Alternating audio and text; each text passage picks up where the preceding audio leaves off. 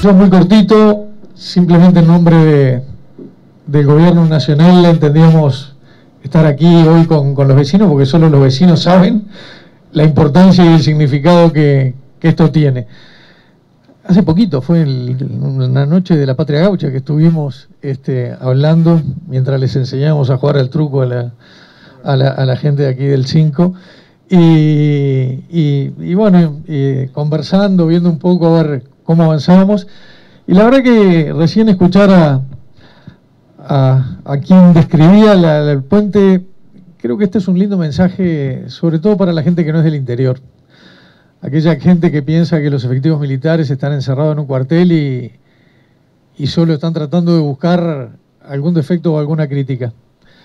Eh, por eso teníamos la obligación moral de hoy estar y yo le voy a pedir al comandante que explique que nadie mejor que él eh, que pueda explicar, ya explicaron la ingeniería del puente, pero lo que hay detrás de esto, este es el único puente que tiene el ejército. Hay tres por ahí rotos y vaya si será útil poder contar con alguno más. La misma noche que el Tufi nos pedía, que Wilson pedía, el Tufi ya estaba llamando de Río Negro y otros intendentes también. Por eso solo la gente del interior a veces le da la dimensión y la importancia que estas cosas tienen. Así que, comandante, yo le, le voy a pedir que usted charle con la gente de acá. Gracias, ministro. Bueno, buenos días a todos.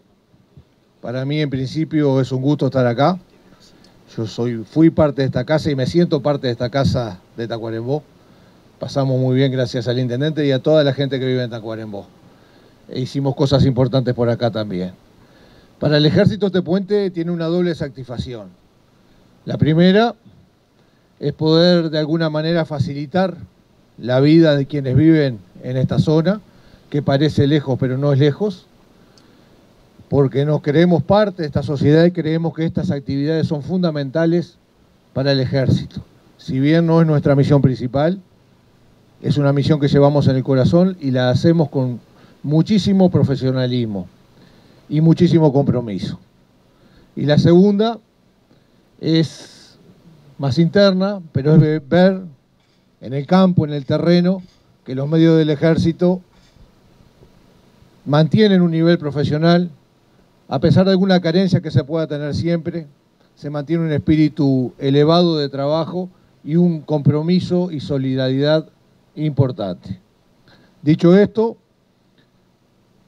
el Ejército Nacional, como ustedes lo saben, participa e interviene en aquellas actividades en que se le dispone y lo hace con muchísimo compromiso. Estamos en este momento inaugurando este puente, pero estamos en tres o cuatro actividades más simultáneas, tratando de colaborar con la sociedad a la cual pertenece y a la cual nos debemos. Así que para mí es un gusto estar acá. Desde el momento que el señor intendente nos planteó la inquietud, dijimos que sí, hicimos las evaluaciones, nos dijeron que tenía que tener, la capacidad de, de permitir el pasaje de un ómnibus que creo que va diariamente a Tacuarembó.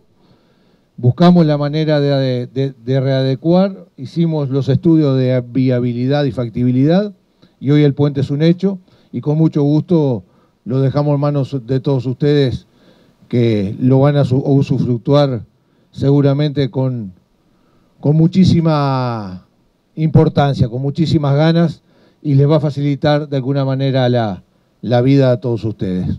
Así que, Intendente, Ministro, muchas gracias.